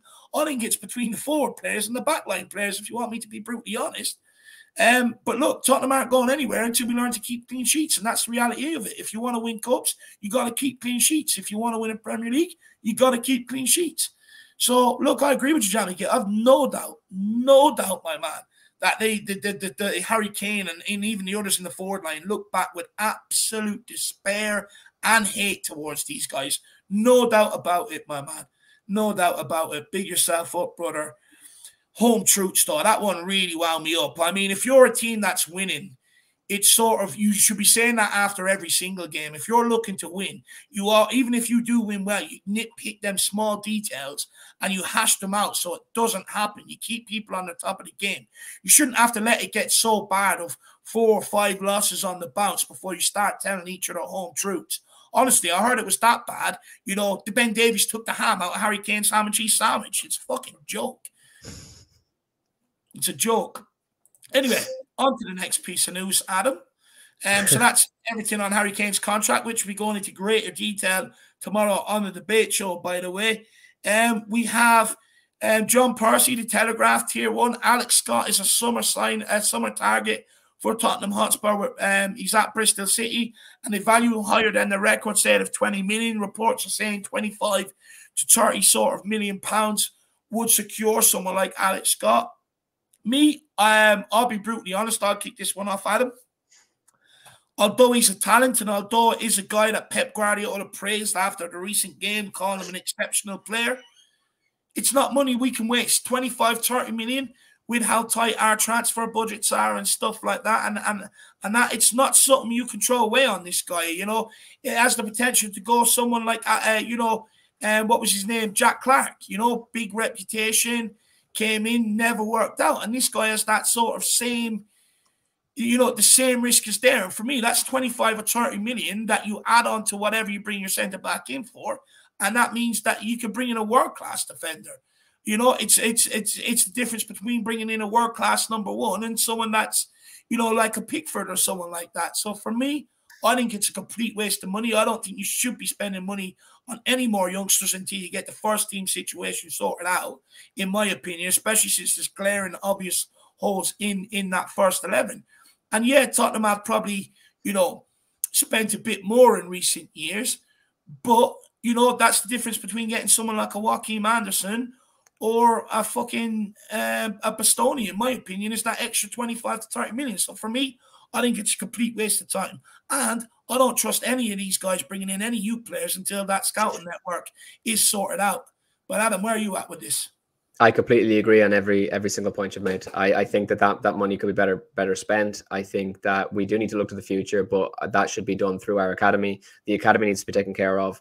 Make sure that because we have the likes of like everyone is going on about how great um uh, Alfie Devine is, you know, and we've got like we've got we've got so many good youngsters that we can train up, and and if we spend more time developing the academy, and then that money that instead of you know rather than spend it on Alex Scott, if we spend that money on getting in, you know, the the the the really important positions that we need, where where we we really break the bank for the players. That's going to make all the difference. That's going to make the difference for next season in particular. If we want to get trophies, finally, it's going to need to be spending money in the areas that or players walk right into the first team, change things, and lift the roof off the place. And and as well as having two centre backs and a goalkeeper come in, which is what we really really need. If we have that extra bit of cash, and you know, I'd rather go for I, I, I if we're going to bring in a midfielder, I like I really really have my hopes set on on James Maddison. I would love James Maddison to walk in and be the new Christian Eriksen, honestly, because I think the guy would be able to do incredible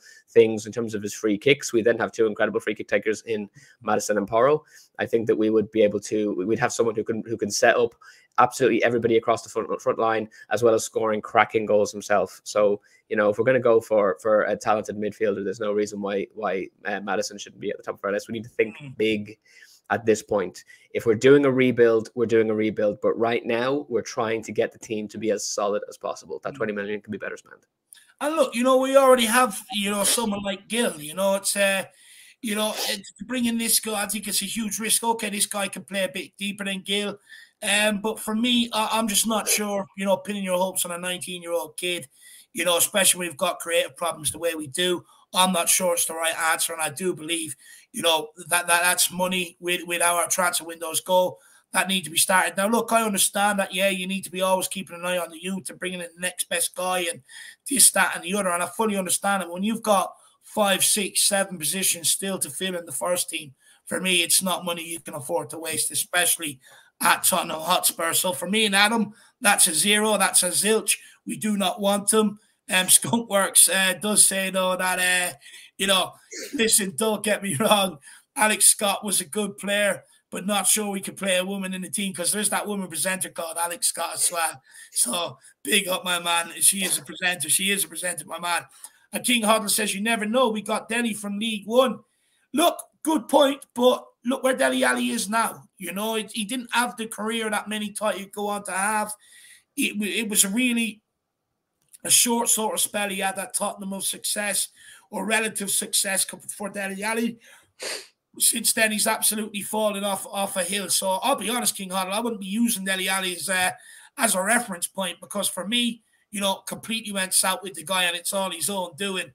Um, but big up. And then we've got Lewis says, Good night, Dave. I'm going to bed. See you later. I'll text you in the morning. No worries at all, brother. Good night. Have a good one, my man. Uh, we've only got a small bit more news to get through here, and then we will be ending off. Um, Troy Parrott, uh, uh, Adam, uh, he's unsure of his Spurs future. He did an interview with the Irish Examiner, which me and you would know very, very well. Just give me one second, and I'll read out exactly what was said.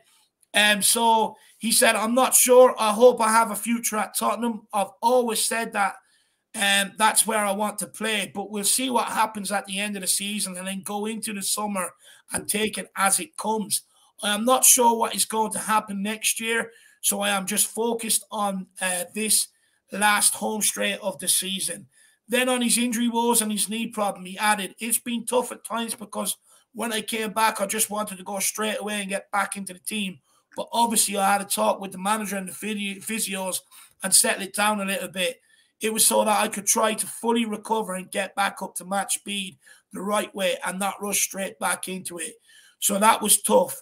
I was out for a long time, so I just wanted to come back and play straight away. Now I'm 100% uh, fit, so I can play 60, I can play 90, I can play whatever I'm asked to do. I was feeling it, not in terms of the injury, but in terms of sore legs, and that um, it was more sore than normal the next day. So I just had to take a step back a little bit, but now I'm fine. I'm ready to go now. I've had chances, and I believe I'll get more before the season ends. It's just about putting them in the goal now. Now, Adam, my question to you is Do you think Troy Parrott will make it at Tottenham? Let's get a future prediction off you here. And did Troy Parrott ever have a chance to have a future with Spurs? Or was it virtually impossible for him to break into the team? Is there anything he could have done differently? Or has he just been unlucky? I think he's only been unlucky in the sense that he's had to follow in the footsteps of Harry Kane. Like if you're when we're thinking about who's going to be the next striker for for Tottenham, you have absolutely enormous shoes to fill. And so you you know he's unlucky in that sense because he's just not the kind of player that is able to hold a candle to to Harry Kane. He can't tie his tie his boot bootlaces. So uh, I, uh, as I said before, I love a narrative, and I would absolutely love to see an Irish guy come up and be the next Robbie Keane that would nothing would make me happier. But it's just not going to be the case. He's not shown anything to, to, to, to say that that's what he's capable of being. If suddenly he just became a sensation overnight somewhere, if so, like he he wakes up a, a, different side of the bed one morning and decides to become a, become a different player, you know, it's stranger things have happened, I guess. But the way things are, the pattern we've seen, you know, you don't you don't assume something will be will be any different when you wake up the next morning than it was the day before. And for him, he, he, again, he won't hold a hold a candle to Harry Kane. The next time that we're when when it's time for Harry Kane to hang up his boots, the next person that comes in that we're looking for, we're going to have seriously high standards, mm. and Troy Parrott just isn't that. I feel sorry for Troy Parrott in a way. I think when you look at it in two ways, right? One, you know, you've got Harry Kane there in his prime so it's sort of that that's a hindrance in itself, and it almost all limits any game time you're going to get. Like even look at Richarlison, 24, 25 Brazil international, and even his minutes have been limited, let alone someone like Troy Parrott trying to make a name for himself coming through the youths into the senior team.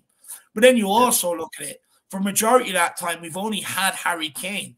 So, you know, you would maybe look at it and say, is there a window of opportunity missed for Troy Parrott to take them you know, to, to be that backup, considering there was only one striker at the time.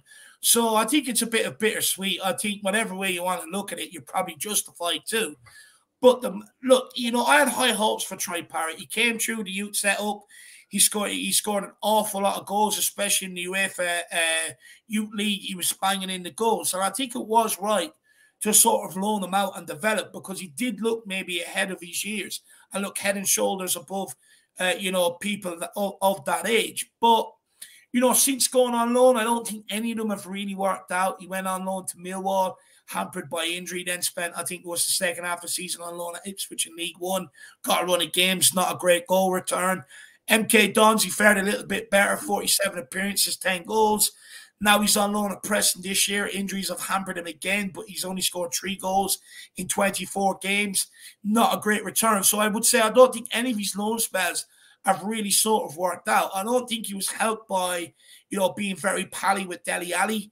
Um, I think that's definitely also hindered his career a little. You know, if you're hanging around with someone like Dele Alli, ultimately you must have the same sort of mindsets, I would say, which is maybe not good for a player of Troy Parrott you know, ability with his career. You know, it could very easily end up the same as what Dele Alli's career has been. Troy Parrott has also been known to, you know, sort of being at racing festivals and stuff like that with very well known gangster sons, stuff like that. So I'm not sure some of the people he hangs around with or he keeps the best of company. Now, it does look like that maybe sort of this summer he sort of copped onto that and realized that. He did say in the interview he changed a lot of things. He came back early and put, put himself into a training camp in Portugal before this season.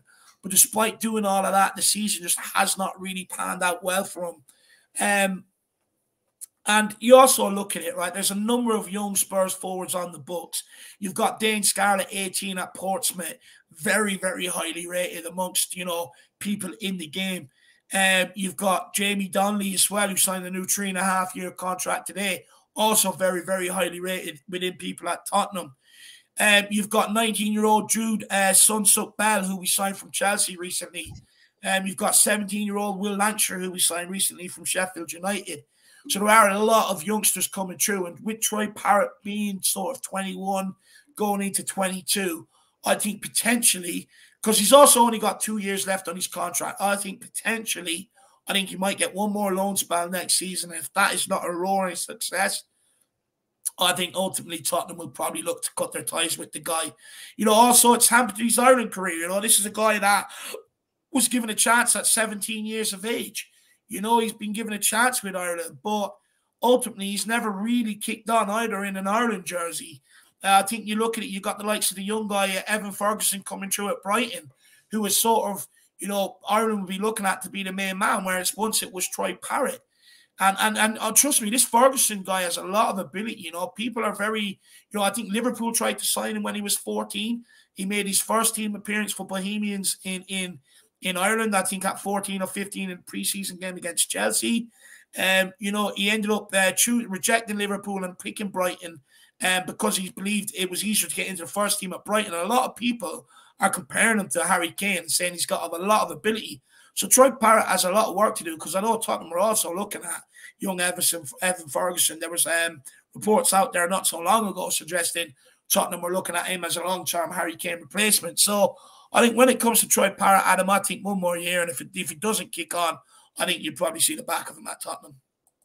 I doubt Troy Parrott is a name that we'll have on our lips too many times over the rest of the season. Anyway, like for like even even all next season, you'll you'll you may hear of you know once or twice potentially of kind of how he's getting on, but he's not. He, he's he'll be a thing. He'll be a, a memory before we know it. Honestly.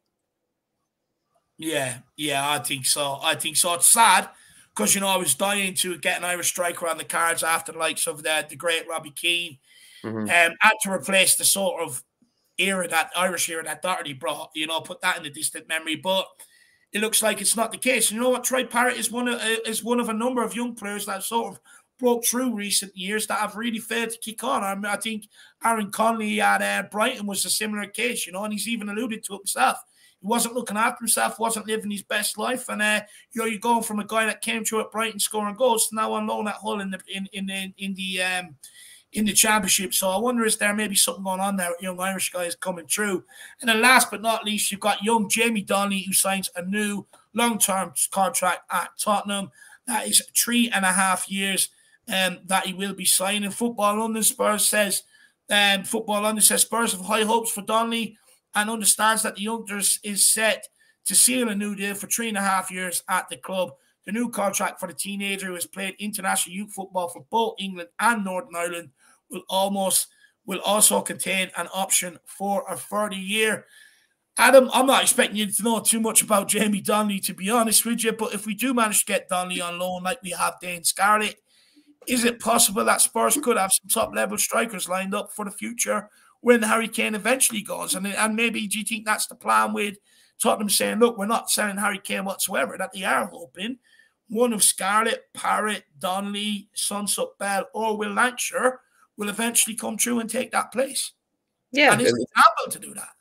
It's it's entirely possible. I'm not sure that it's a gamble because at the end of the day, like I, I do think Kane will be around for. I think he'll sign. I think he'll be around for a few more seasons, and by that point, you're talking about more revenue, more. Um, you know, there'll be there'll be there'll be more money there to, to find someone to replace Kane if we need to anyway. But I think it is a you know it's good that we can see names for the future. I really really hope that at some stage in the future you'll see a squad, an incredible squad with Dane Scarlett up front and Alfie Devine playing you know in the attacking midfield role and it, you know, it would be it would be a great, uh, as I say, it's you know, I love stories. It would be a great story to see that these young lads are, you know, come up and they and they, and they push through. But as you say yourself, um, you know, you're absolutely right. I know nothing about about Jamie Donnelly, But I all I can say is like if he's if he's part of our future, then I absolutely wish him all the best, and and I'll be uh, I'll be rooting for him every step of the way because because um you know we got to we can't just think about the now, we have to think about the future, and and um, and we need to get that academy sorted. And if they're part of a, a process of having that academy uh, completely revamped and, and and pushing for for uh, the, the the future of of our club, then we've got to wish the boys all the best. For sure, I just I just worry. I don't want Spurs to really hinder any more of them youth players' careers coming out. I don't think we source the best loan moves for them at times. I think we could do more due diligence in where we're sending where we're sending players.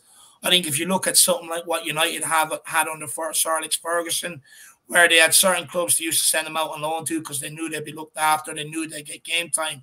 But then they had a club like Antwerp in, in, in Belgium where, you know, before they were even considered for the first team, they had to go out there and do it for a season. And I do think Tottenham need to get something like that in place, some clubs they can trust where they can send these players where they will be looked after and get given game time. Because at the minute, if you're a youngster coming through, bar maybe Skipp or Harry Kane, the way you look at it is once you're out on loan, you're sort of never ever going to get an opportunity at Tottenham. You're sort of out of the eyes, out of any of the eyes of anyone looking. And so it'll be interesting to see how we handle the development of someone like a Scarlett, a Donnelly, Soonsup-Bell, or a Will Lankshear.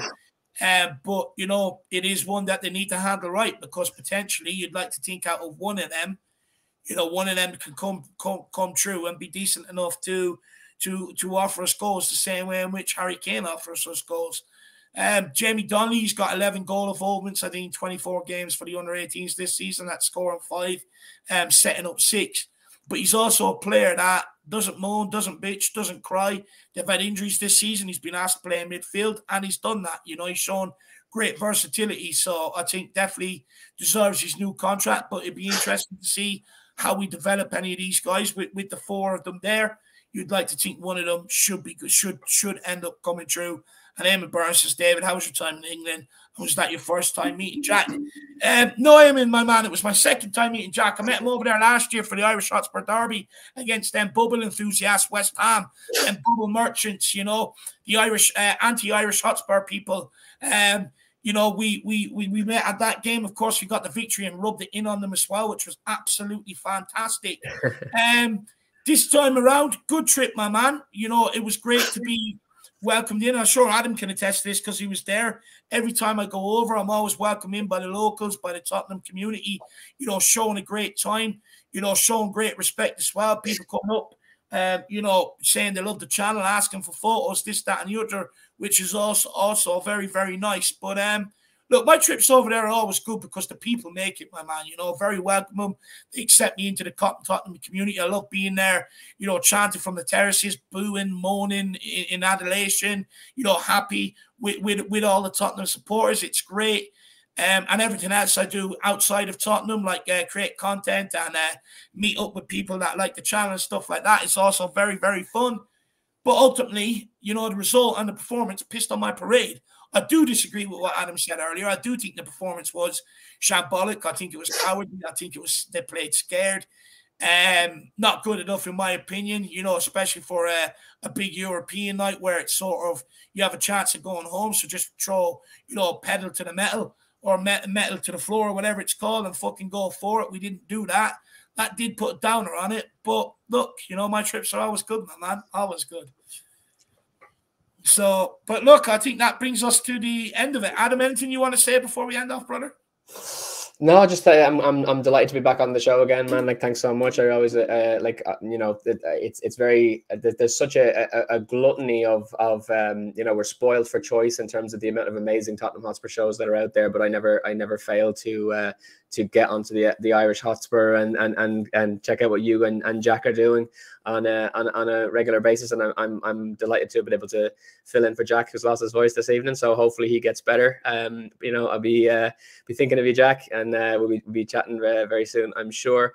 Um, and yeah, again, thanks for having me on. I appreciate it, and and I'll I'll I'll try and come on as often as I can whenever you'll have me. And um, yeah, just a little bit of I suppose kind of uh, shameless promotion if you guys want to check out what I'm. Plug your movie if you want to check out what I'm doing, um, my feature film is available on Amazon.co.uk. If you go to Amazon.co.uk and type in "Follow the Dead," you can rent the film for a very very low price, and you can uh, you can check it out. And if you do, please leave a favorable review and. Uh, and uh, and it would be nice to get um, a rating and a review from people who check it out and it really helps me to kind of boost not only the popularity of the film but also it's really kind of giving me my best foot forward for my chosen career which is making movies. It's what i really want to do. So i'd appreciate you checking that out. If you want to check me out on social media what it's uh, wild stag media. Wild stag media. I always worry that i'm not saying that properly. Um, any on all the all the social media machines, so you can check me out there. And uh, I appreciate everyone um, giving me your support. I've been w- watching the the comments in the in the in the chat and everything, and a lot of people uh, being very very uh, sweet and lovely towards me. So I appreciate that. Thanks so much. And, and one you, last time, the name of the movie, just for people to check it out, so we don't get it lost. Follow the Dead. These Follow the Dead. There you go, everybody. If you could check that out for Adam, give it a good review. It really does help him out and everything he has to do. Personally, you know, I know Adam took a lot of risk to make this, a lot of gamble to take this. Um, you know, so it'd be absolutely brilliant if uh, you know we could get behind him and and and make it all feel worthwhile for the guy.